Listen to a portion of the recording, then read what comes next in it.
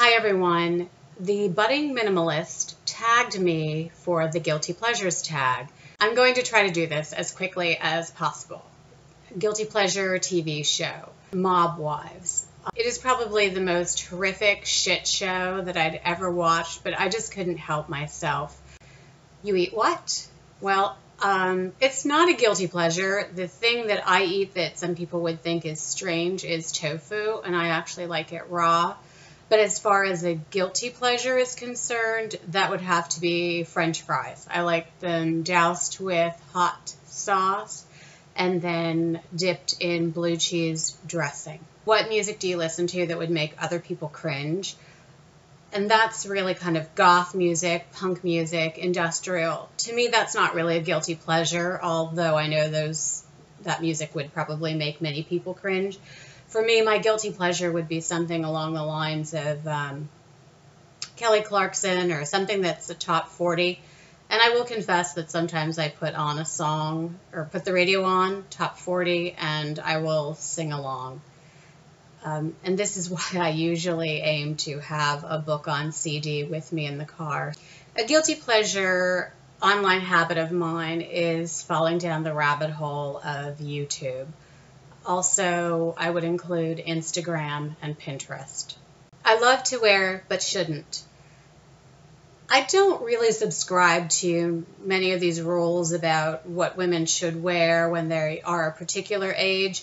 I think you should be guided by common sense and a certain amount of dressing appropriately for the venue. I mean, you would certainly dress differently for a night out on the town than you would for a funeral.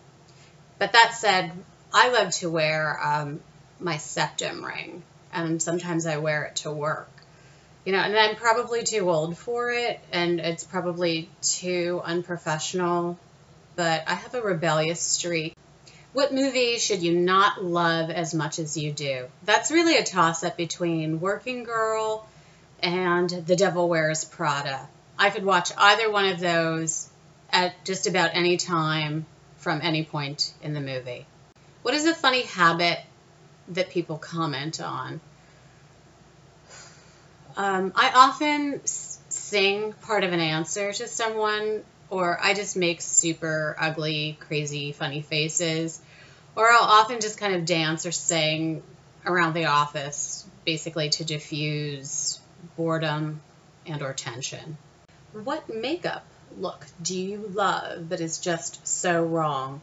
I mean, I don't know that it's so wrong. It certainly wouldn't be flattering for me now, although I used to wear it.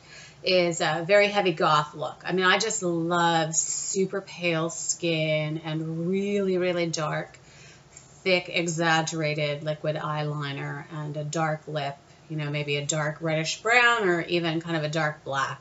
This is a tag video, so I am passing along the love to Hello Cathy, Sonia FBY, Mary Mensch, The Minimalist Sparrow, Minimalist Mera, and you. If you're watching this and you make videos, please make a response video or even just leave me a comment down below to let me know some of your guilty pleasures.